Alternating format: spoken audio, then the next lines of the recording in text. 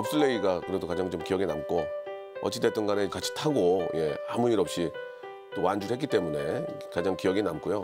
하하 씨가 빠지면서 뭔가 저희가 이제 현장에서의 즉흥성, 빠른 호흡들보다는 조금 더 천천히 가면서 뭔가 무한도전만이 할 수 있는 색깔들을 좀 찾아가던 시기이기도 했는데요. 무한도전이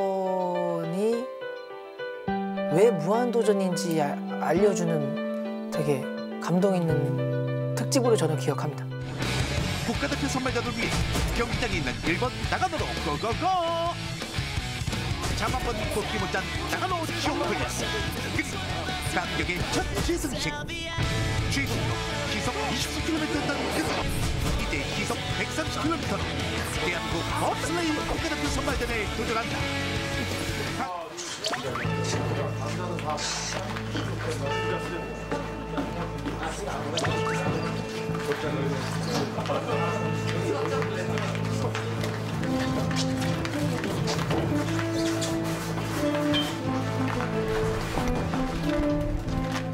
제가 그 봅슬레이를 또 타게 될지 그리고 그 당시 그 선수셨던 분, 뭐 코치여셨던 분들이 지금 이제 코칭스태프로 다 이번 그 동계올림픽에 나오는데 아 참 마음이 예, 한편으로 참 저도 그 동계인의 한 사람으로서 뿌듯하더라고요.